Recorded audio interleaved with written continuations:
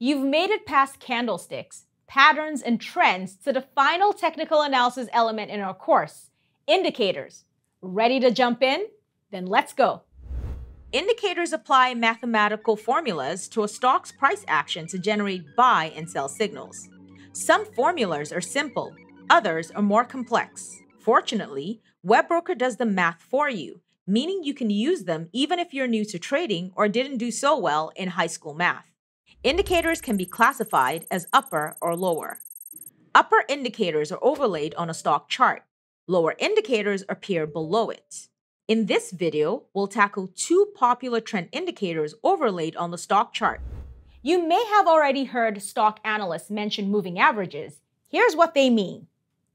A simple moving average, or SMA, tells traders the direction a stock is trending.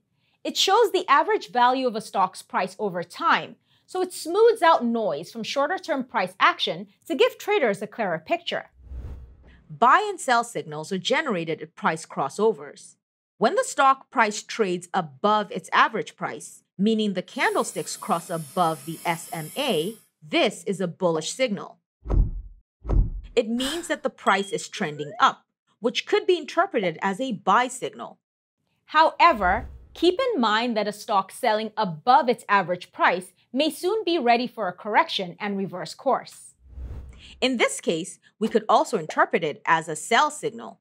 On the flip side, when the stock price trades below its average price, meaning the candlesticks cross below the SMA, this is a bearish signal and could, again, be interpreted as a buy or sell signal. The price may continue trending downward in the short term, or it may be ready to reverse course.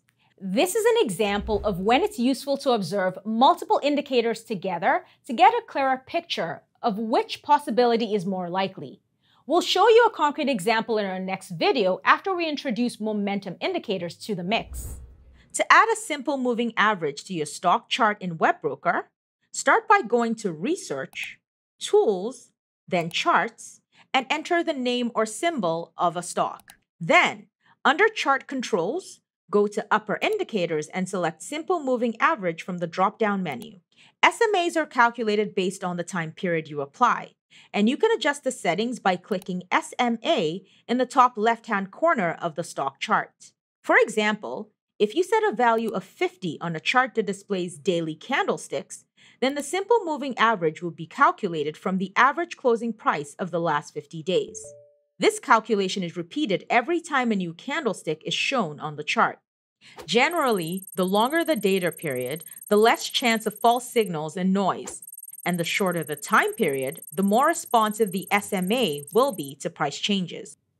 The exponential moving average, or EMA, is also an upper trend indicator. It's calculated similarly, except that more recent data points are weighted more. This is useful for traders prioritizing the price trend of more recent price points.